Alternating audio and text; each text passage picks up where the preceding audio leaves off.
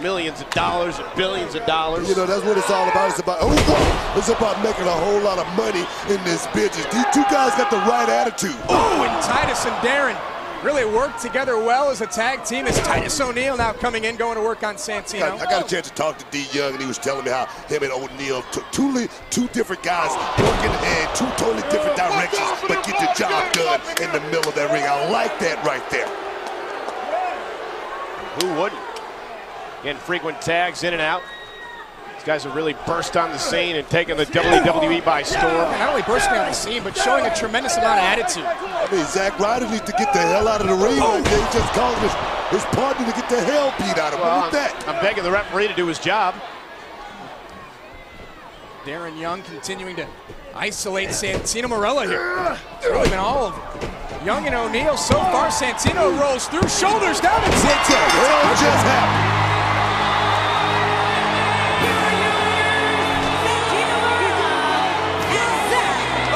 It's uh, Did somebody, inexperience. Did somebody tell me what the hell just happened? Yeah, the primetime players got caught.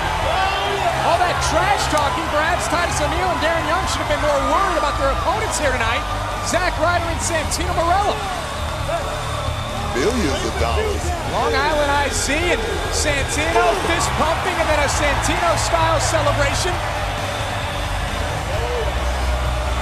Oh no. The big show. Hey, this is this is really uncomfortable.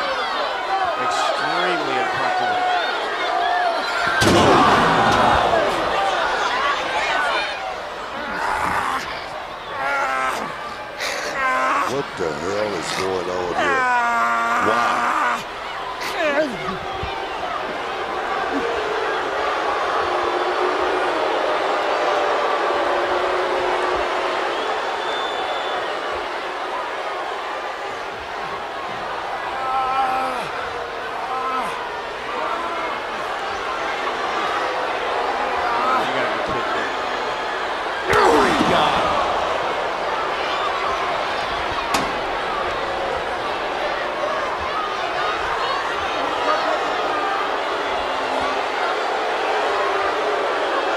Get it started now.